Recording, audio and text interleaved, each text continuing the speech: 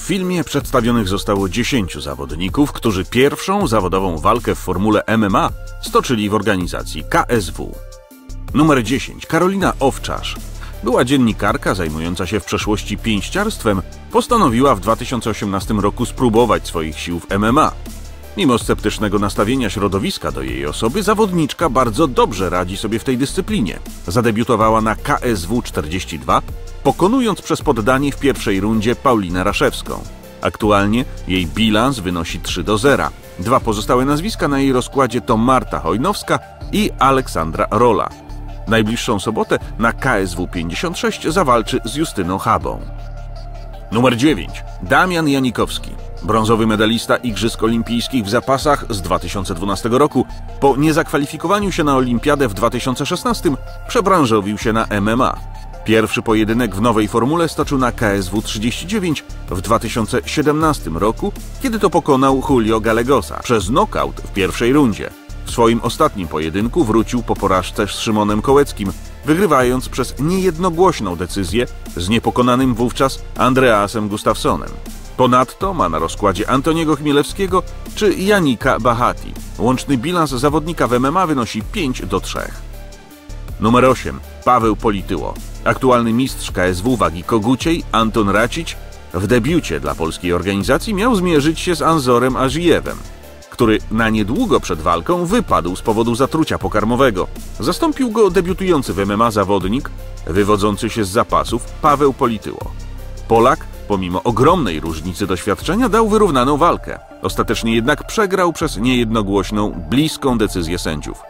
Po trzech wygranych, poza organizacją, wrócił do KSW, gdzie pokonał Dawida Gralkę i zmierzył się w rewanżu z Racicem, z którym ponownie przegrał niejednogłośną decyzją.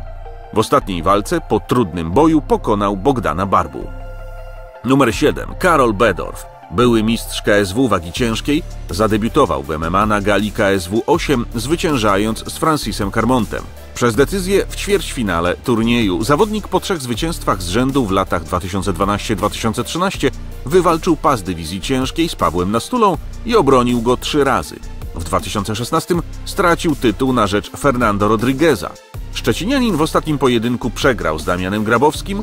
Łączny bilans Bedorfa w MMA wynosi 15 do 5. Pokonał m.in. Oliego Thompsona, Petera Grahama, Michała Kitę czy Mariusza Pudzianowskiego. Numer 6. Marcin Różalski. Różal po karierze w kickboxingu przeszedł do MMA.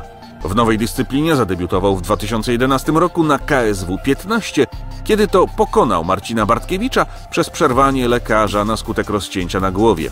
W 2016 roku, po dwóch przegranych z Grahamem i McSweeneyem, odbudował się, pokonując Mariusza Pudzianowskiego.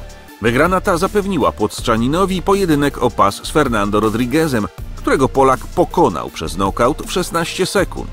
Był to ostatni występ Różala w MMA. Jego łączny bilans w tej dyscyplinie wynosi 7 do 4. Pokonał m.in. Rodneya Glundera, Pola Słowińskiego czy Nika Rosborough. Numer 5. Maciej Górski. Były karateka zadebiutował w formule MMA na KSW 5 w 2006 roku, pokonując Artura Reszkę. W 2008 na KSW Extra wygrał turniej wagi lekkiej, zwyciężając w finale z Jędrzejem Kubskim. Na KSW 14 wystąpił w drugim turnieju wagi lekkiej, gdzie wygrał ćwierćfinał i półfinał. Natomiast na KSW 15 w finale przegrał z Niko Puchaką. Nie dogadał się potem z organizacją i była to jego ostatnia walka w KSW. Swój ostatni pojedynek przegrał w 2015 roku z Sebastianem Romanowskim na gali X-Cage 7. Łączny rekord zawodnika wynosi 10 do 7. Pokonał m.in. Michała Mankiewicza czy Kazuki Tokudome. Numer 4. Mariusz Pudzianowski. Były strongman w 2009 roku rozpoczął karierę MMA i zadebiutował 11 grudnia na KSW 12, pokonując Marcina Najmana w 44 sekundy. Zawodnik tylko raz walczył poza polską organizacją. Jego łączny bilans w MMA wynosi 13 do 7. Ma na rozkładzie takie nazwiska jak Oli Thompson, Paweł Nastula czy Holes Gracie.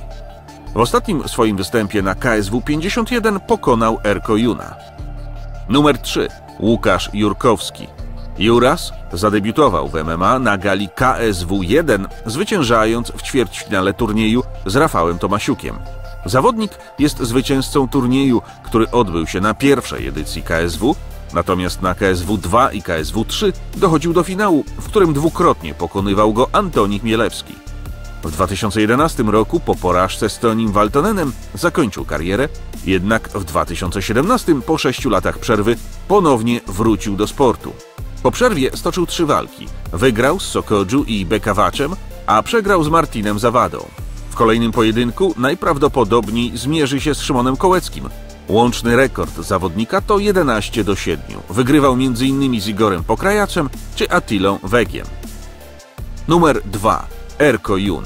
Kulturysta i model fitness z Bośni pierwszy pojedynek w MMA stoczył na KSW 44 w 2018 roku. Jego rywalem został Tomasz Oświęciński, który był po zwycięstwie z Popkiem. Mimo, że Erko leżał na deskach, ostatecznie ciężko znokautował aktora. W drugiej walce, kilka miesięcy później, pokonał przez techniczny nokaut w drugiej rundzie Popka. Po kolejnym starciu odprawił w niecałą minutę Akopa Szostaka i od tego momentu zaczął być postrzegany nieco poważniej. Czwartym występie zmierzył się z Mariuszem Pudzianowskim, z którym przeważał w stójce, jednak ostatecznie w drugiej rundzie został zasypany ciosami w parterze i sędzia przerwał walkę. W swoim ostatnim pojedynku we wrześniu zawalczył poza KSW i poległ przez nokaut w pierwszej rundzie z Damianem Olszewskim. Numer 1. Izu Ugonoch. Były kickbokser i pięściarz po ostatniej porażce w boksie postanowił rozpocząć treningi MMA. Jego osobą bardzo szybko zainteresowała się organizacja KSW. Zadebiutował w sierpniu tego roku na gali z numerem 54. Jego rywalem został Quentin Domingos. Izu zwyciężył walkę na skutek kontuzji nogi rywala w pierwszej rundzie. Jak dotąd był to jedyny występ Ugonoha w MMA. Napisz w komentarzu, czy kojarzysz jeszcze jakichś zawodników, którzy pierwszy pojedynek w MMA stoczyli na gali organizacji KSW.